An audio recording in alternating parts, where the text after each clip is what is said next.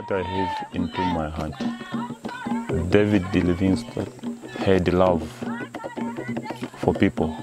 One man's dream to establish a museum for well-known explorer, missionary and adventurer Dr. David Livingstone received a boost when the one-room Museum at Sangwali was recently upgraded.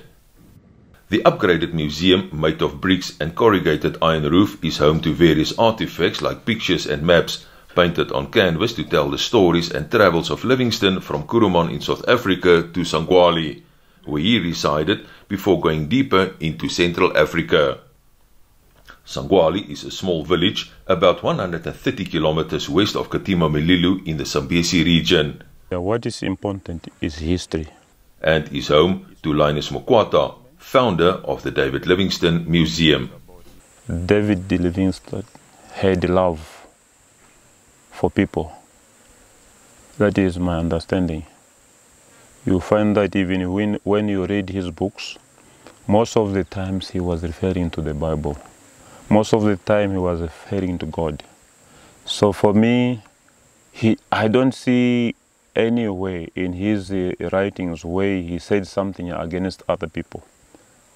He was trying to give advices, creating peace, that is my understanding. So we must follow that way of living. If we live in peace, then we have peace in the whole world. Livingstone was more than a missionary and aimed to abolish slavery in Africa, especially among stronger tribes who enslaved weaker and smaller clans. He sought to improve the lives of those in Africa by bringing Christianity and commerce to the continent. However, he was less successful in evangelizing than in his fight against slavery. Livingstone will also be remembered for naming Victoria Falls when he and some of his aides came across the natural wonder, then known in the Tonga language as Mosi Utunya, the smoke that thunders in 1855.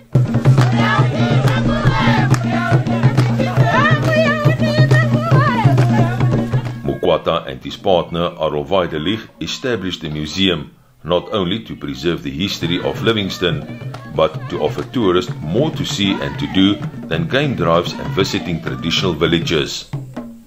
A teacher by profession and a member of the Mayeye tribe, Mukwata said he felt morally obliged to preserve the history that his father told him as a child.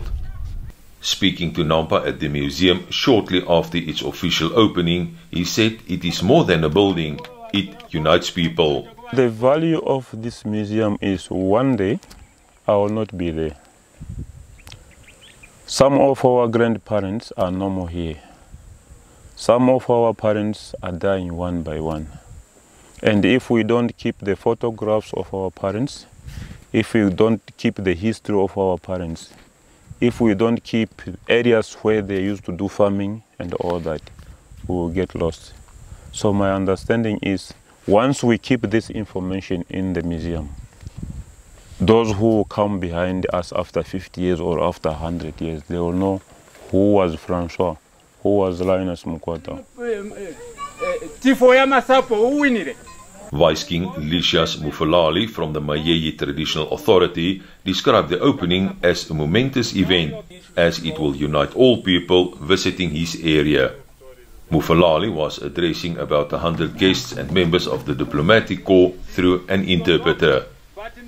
Ambassador Jana Hybaskova from the European Union delegation to Namibia said during the official opening, the EU wants to work with all people from Namibia. We are very happy that we can work with Yayei people and with people of Zambezi. We are not only sitting in Windhoek, we do support Nyae Nyae San Conservancy. We wish to work with Himbas. We wish to work with Yayei people. We have a project supporting Nama people. So we are here for all different peoples of Namibia. Apart from the historical place at Sangwali, where Livingstone and Chief Sebetwane had several dinners at the exact location, several maps inside tell stories of the once fearless missionary who never raised his muzzleloader, an ancient rifle, against any human being. Livingstone died at the age of 60 in 1873 in Chief Chitambo's village at Ilala, southeast of Lake Bangweulu in present-day Zambia, from malaria and internal bleeding due to dysentery. The European Union, in collaboration with the Namibia Scientific Society, supported the upgrade of the museum, including road signs on how to get to this place.